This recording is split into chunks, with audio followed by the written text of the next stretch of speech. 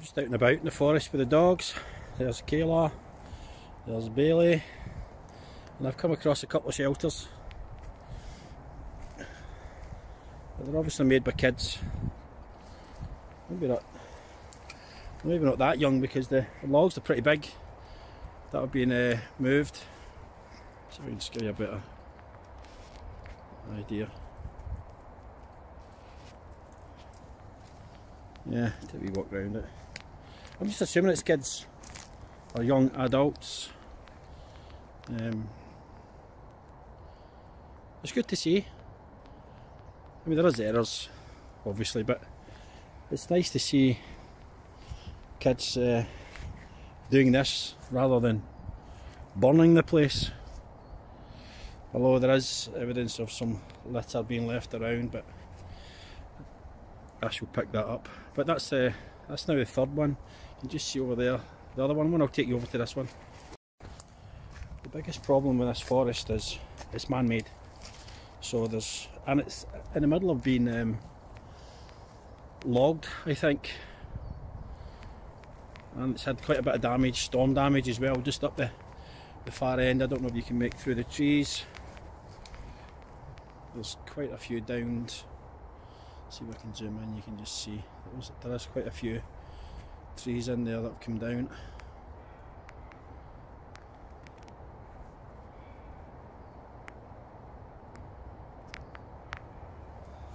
But yeah, here's the, the other one. As I say, it's just nice to see kids or young adults or whatever they are, whoever they are, giving it a go.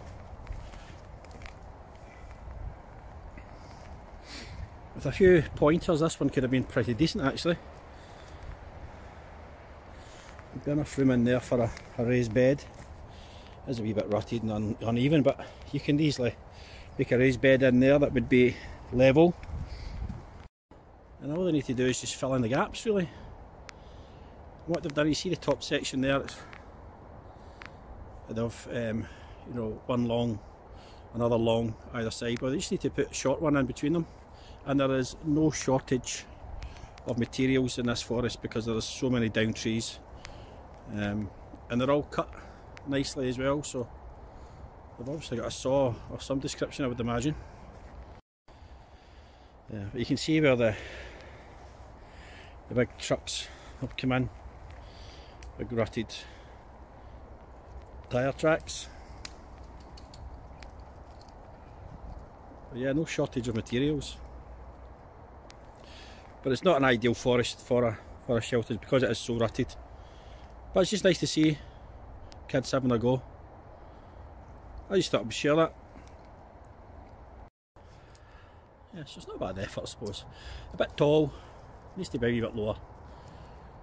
It'd be quite hard to heat it or keep heating it, but yeah, just some shorter lengths in between the, the longer ones and we did a, a decent uh, product there, or a decent end result. And then you just chink it in, there's, there's plenty of moss in this forest to, to be able to chink in the gaps. Bailey as usual, making sure she's getting as muddy as she possibly can. Ah, no digging! Go say hello, say hello to everyone. Say hello. Where are you? Say hello. Say hello.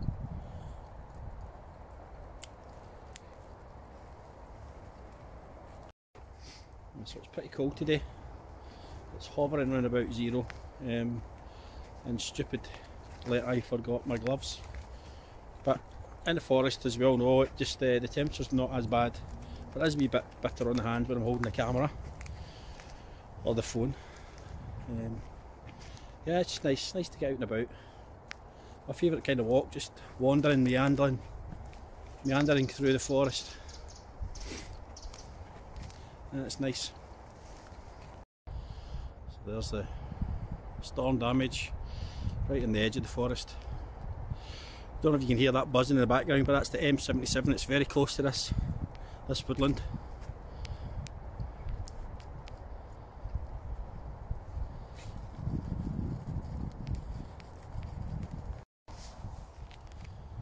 You'll see there in the forest, you'll see the.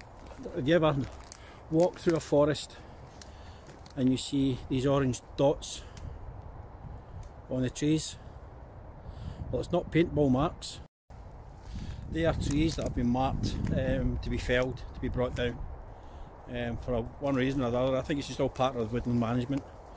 Um, not every tree, especially in a man-made forest, will will grow strong and healthy because they, they fight for the sunlight as they grow up. So some will um, not make it. Yeah, so just uh, if you're through the forest and you see these orange dots, don't worry about somebody firing paintballs at you. Um, it's uh, trees that have been marked to come down. It's been marked, but as you look up, it's it's pretty rotten. It's dead, in fact. It's, that's what we call dead standing. Let's see if I can zoom in a bit more on that. You can see the bark's all flicked away, and there's it's quite easy to spot because there, there, won't be any greenery on it, any sh uh, shrubs on it, or any greenery on it, uh, and they look pretty awful.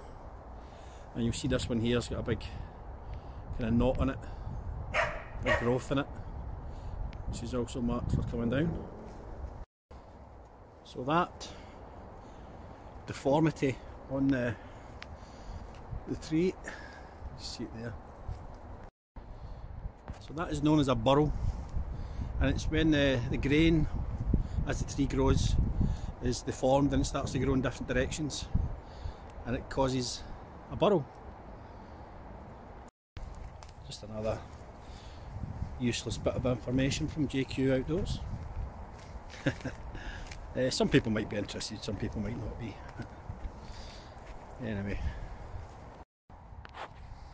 there's a tree that's been felled.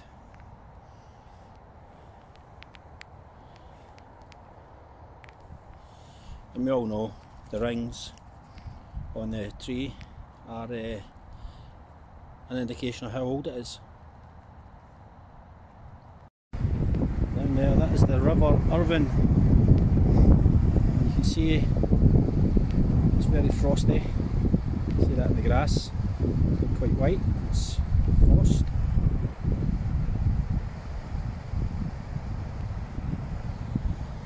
The last summer I walked a good chunk of this uh, river when it was very very low um, after a really hot spell.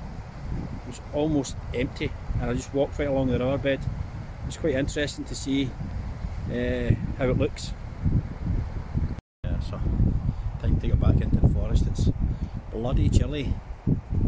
So I picked up a couple of uh, rounds for a wee project. Uh, maybe do that later on today and a wee video of it. So just walking through, this is the more kind of natural part of the forest. It's not man-made. There's a, a, nice variety of trees here.